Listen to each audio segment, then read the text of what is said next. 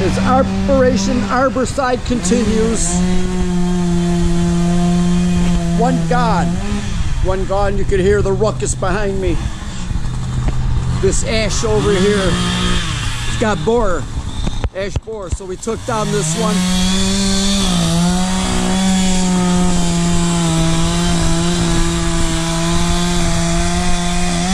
And we're gonna take down these over here, these dead ones here.